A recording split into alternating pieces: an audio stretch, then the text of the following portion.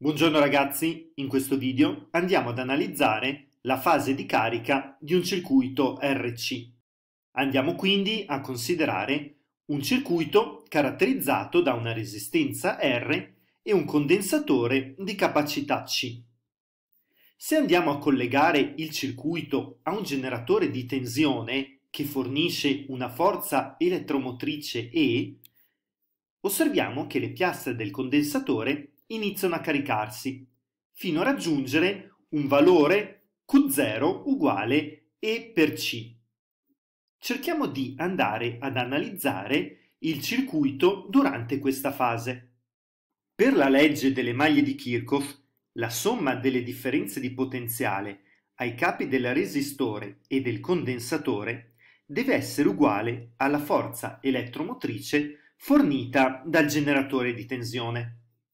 Ricordandoci ora che la legge di Ohm ci dice che la differenza di potenziale ai capi del resistore è uguale a R per I, dove I è la corrente che circola nel circuito e che per definizione è data dalla derivata della carica rispetto al tempo, e ricordando inoltre che per la definizione di capacità la differenza di potenziale ai capi del condensatore è dato dalla carica fratto la capacità, abbiamo che la legge di Kirchhoff si può riscrivere come R derivata della carica rispetto al tempo più la carica fratto la capacità uguale a E, cioè alla forza elettromotrice fornita.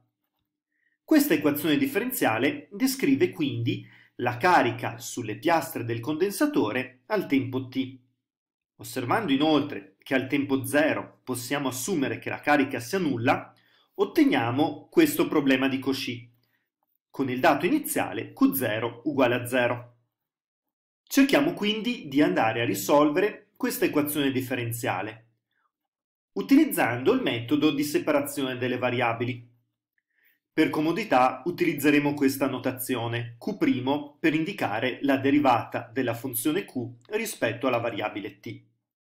Isoliamo algebricamente RQ' che è uguale a E meno carica fratto capacità e quindi andando a dividere tutto per E ritroviamo che Q', la derivata della carica, è uguale a E per C meno la carica fratto RC. Ricordandoci che stiamo studiando la fase di carica del condensatore, siamo sicuri che E per C meno Q debba essere maggiore di 0 in particolare diverso da 0. E quindi possiamo andare a dividere per questa grandezza ottenendo che Q' fratto EC meno Q è uguale a 1 fratto RC. Cambiamo di segno a questa equazione e andiamo a osservare che la derivata del logaritmo in base naturale di EC meno Q deve essere meno Q' fratto EC meno Q. Osserviamo quindi che abbiamo svolto la derivata del logaritmo e moltiplicato per questo meno Q' per la regola di derivazione di funzioni composte. Osserviamo ancora che la derivata di meno 1 fratto RC per t più una qualsiasi costante k è uguale a meno 1 fratto RC. Quindi, tornando all'equazione che stavamo studiando, possiamo affermare che debba valere che il logaritmo di EC meno Q sia uguale a meno 1 fratto RC per t più una qualsiasi costante reale k. Cerchiamo ora di trovare la soluzione Q dell'equazione differenziale che stiamo studiando. E quindi andiamo a invertire questo logaritmo ottenendo che EC meno Q è uguale all'esponenziale di meno 1 fratto RC per t più la costante k. E quindi, andando a rigirare algebricamente questa equazione, otteniamo che la funzione q di t è uguale a e per c meno e alla meno 1 fratto rc per t più la costante reale k. Ma andiamo ad analizzare questa soluzione dell'equazione differenziale. e ricordandoci che per le proprietà della funzione esponenziale vale che e alla a più b è uguale a e alla a per e alla b, abbiamo che la carica deve essere uguale a e per c meno e alla meno 1 su rc per t per e alla k. Indichiamo questo e alla k con il simbolo k grande e quindi ritroviamo questa scrittura per la soluzione Q di t, cioè EC meno K e alla meno 1 fratto RC per t. Ricordandoci che il dato iniziale che abbiamo assunto è che Q di 0 sia uguale a 0, otteniamo che Q di 0 è uguale a E per C meno K e alla 0 e tutto questo deve essere uguale a 0. E alla 0 fa 1 e quindi otteniamo che k è uguale a e per c. Sostituiamo questo valore nella scrittura della soluzione, ottenendo quindi e per c meno e per c per la funzione e alla meno 1 fratto rc per t. Raccogliendo la costante ec otteniamo che q di t è uguale a e per c tutto moltiplicato per 1 meno la funzione esponenziale e alla meno 1 fratto rc per t.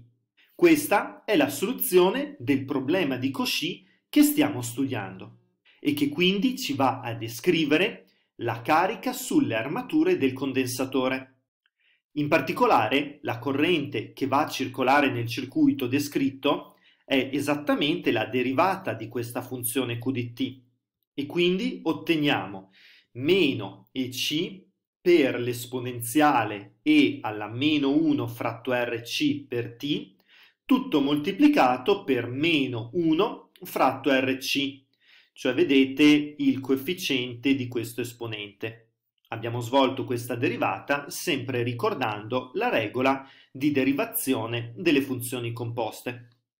A questo punto semplifichiamo la c e semplifichiamo anche questo segno negativo, ottenendo che la funzione corrente deve essere i di t uguale a e fratto r per la funzione esponenziale e alla meno 1 fratto rc per t. Vediamo ora di andare ad analizzare i grafici delle funzioni carica e corrente che abbiamo appena ritrovato. La funzione q di t deve avere questo grafico esponenziale e osserviamo in particolare che il suo limite per t che tende a più infinito deve essere uguale a e per c. Infatti questo esponenziale, quando t tende a più infinito, tende a 0. Osserviamo quindi che y uguale a e per c è un asintoto verticale per la funzione q. In maniera analoga, anche la corrente ha un grafico tipo funzione esponenziale, come vediamo rappresentato. Osserviamo in particolare che il valore della corrente al tempo 0 è i fratto r e quindi la funzione parte da questo punto ed è poi decrescente verso un asintoto orizzontale che è y uguale a 0. Infatti il limite per t che tende a più infinito della funzione corrente i di t è uguale a 0. Osserviamo in particolare che la corrente nel tempo decresce a 0 perché la carica sulle piastre si avvicina sempre più al suo valore di regime E per C. La velocità con cui la carica si avvicina a questo valore di regime dipende dal tempo caratteristico, che è definito come tau uguale rc. Si osserva che trascorsi 5 tau, la carica ha raggiunto circa il 99% del valore E per C e quindi si può considerare carico il condensatore. Spero che questo video vi sia piaciuto e vi abbia aiutato a capire l'analisi del circuito RC nella fase di carica delle piastre del condensatore. Continuate a seguire i video di questo canale e iscrivetevi se non lo avete ancora fatto. A presto!